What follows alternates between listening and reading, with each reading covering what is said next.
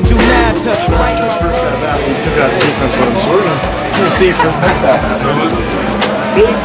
Still, still holding on there? Still carrying bricks? Gonna do Mason or baseball player? So we're gonna stick that.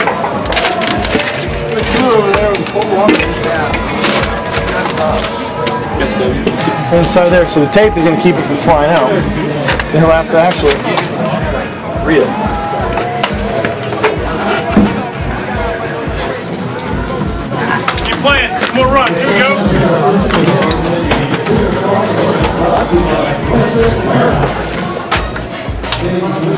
Gracias.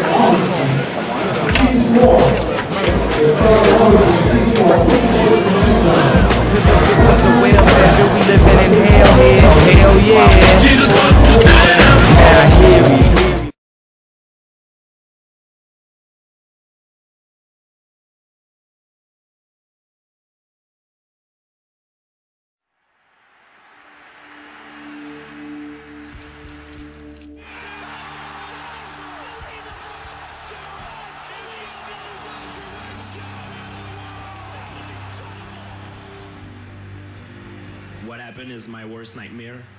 I prefer to accept the fact that I lost tonight and come back stronger next time. I come from a loss. I made I made many mistakes last time. I forgot who I was, what was my number one prior, priority. But this time I I want to get back to it.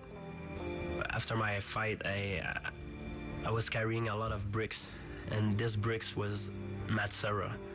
I was putting on myself a lot of pressure. I was telling myself, oh, I need to prove to the whole world that I'm better than that, that I need to do this and that. That's bullshit. I fight for myself. I fight because I love to fight. I'm blessed. I have the opportunity to do, to do the what I love to do, to realize my dream, and uh, I thank God every single day that I wake up and have the chance to do what I love to do.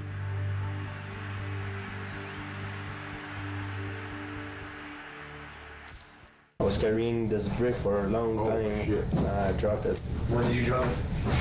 Uh, after uh, like uh, when I met my sports psychologist. Hey, you have one in your car. Yeah, yeah, but this is like a sample. Okay. The other one, I, What- I, I write down Serra on it and I throw it in the river. I don't carry this anymore. I see a sports psychologist. Uh, his name is Brian Cain. He's also one of my good friends, and he made me see uh, this loss like a, a positive, positive experience. And um, it's the best thing ever happened to me. I lost a lot. I lo- I learned a lot of stuff from it, and I come back stronger. Release your mental break. But if I release it, I should not bring it. You should throw garbage. Voilà, On va le jeter dans la poubelle.